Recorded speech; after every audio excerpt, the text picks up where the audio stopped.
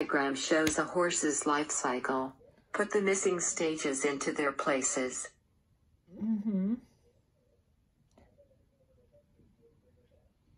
Oh my goodness.